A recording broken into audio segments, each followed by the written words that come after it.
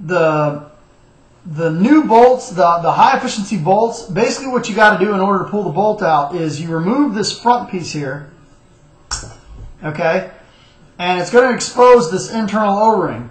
What you need to do is take your dental pick and remove this internal O-ring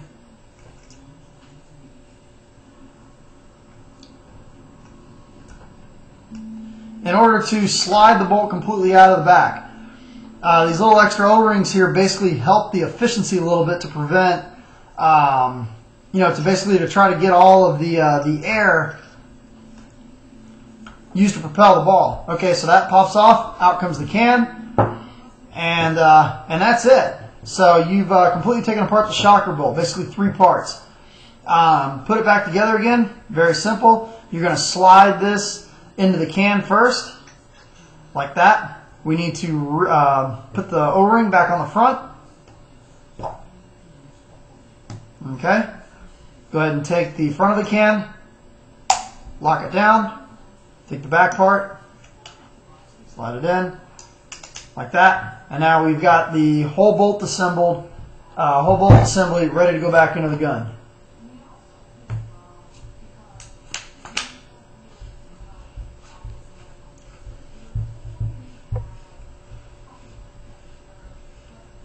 Okay, and we've just uh, completely taken apart a uh, the shocker regulator and also uh, maintained and lubricated the bolt. So let's go ahead and weigh this.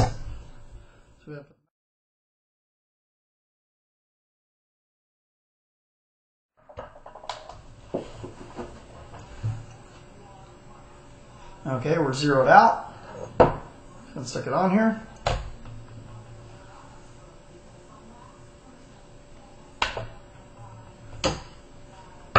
NXT shocker, hybrid NXT shocker. Hopefully you can see that. Two pounds, 14.4 ounces. Two pounds, 14.4 ounces for the NXT shocker.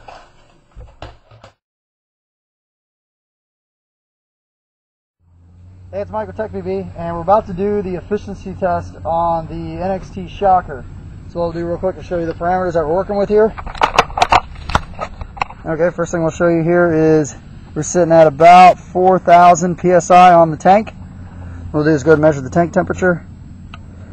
Tank temperature looks like it's about 98 degrees. And that's what we'll do is go ahead and uh, get some paint in there and shoot a couple over the chronograph.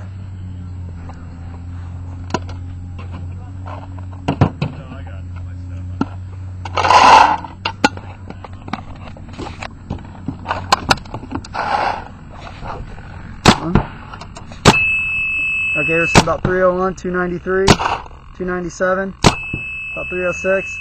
Okay, so we're sitting just right around about 300, so we'll start shooting.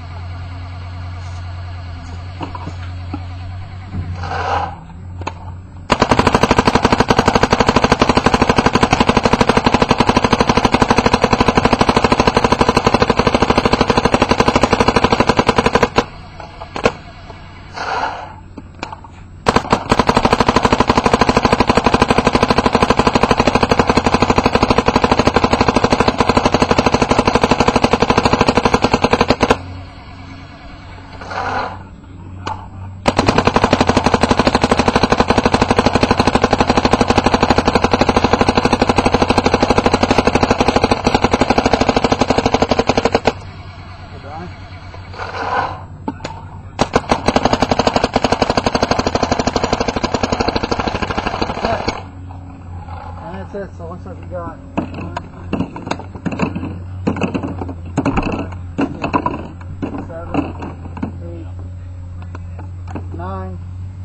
10 pods out of the NXT shocker, shooting about 295, um, filling up to about 4,000 psi.